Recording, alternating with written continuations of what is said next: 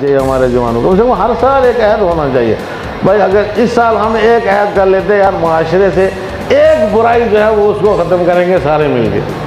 کوئی ایک برائی چن لو۔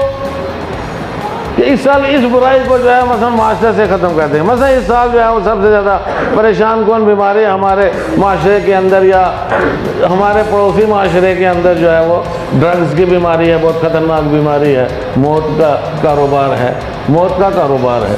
سارے جوان مل کر کے یہ طے کریں، آج روز عاشور، فرش ازائے امام مظلوم کربلا سے کہ کوئی بھی آدمی اگر ایسا ان کے پیش نظر ہوگا تو یا تو کوشش کریں گے کہ پہلے خود اس کو جو ہے وہ باز کریں ان چیز سے۔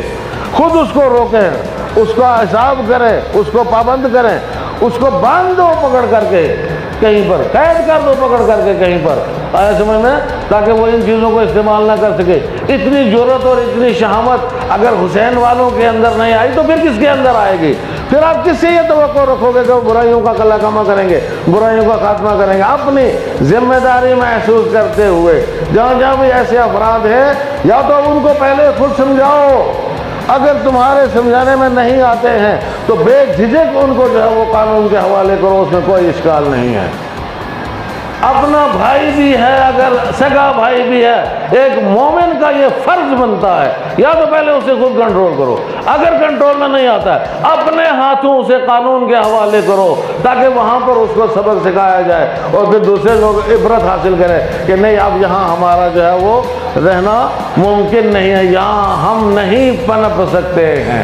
یہاں یہ فساد نہیں پنپ سکتا ہے۔ لیکن عزیزوں اور دوستوں، یہ فساد کیسے پنپتا ہے؟ یہ برائیاں کیسے پنپتی ہیں؟ یہ برائیاں ایسے پنپتی ہیں کہ ہم میں سے بڑے ایک مومن ہے بیچارہ، دوسرا عادی ہے کسی غلط چیز کا۔ دونوں ایک جگہ بیٹھ جاتے ہیں۔ مومن تو نہیں لیتا۔ مومن نہیں لیتا، اس میں کوئی دو رائے نہیں ہے۔ مومن اس کو استعمال نہیں کرتا، اس میں کوئی دو رائے نہیں ہے۔ متعہد جوان اس کے قریب ہاتھ نہیں لگاتا، اس میں کوئی دو رائے نہیں ہے۔ لیکن جو دیکھ رہا ہے، یہ بھی گناہ ہے۔ جو اس کے ساتھ بیٹھا ہوا ہے، یہ بھی بہت بڑا گناہ ہے۔ تو جو کیا یہ اسے قطع تعلق نہیں کرتا، یہ بھی بہت بڑا گناہ ہے۔ اس کے ماں باپ کو نہیں بتاتا، یہ بھی بہت بڑا گناہ ہے۔ اس کو بتانا چاہیے، ماں باپ کو بتانا چاہیے۔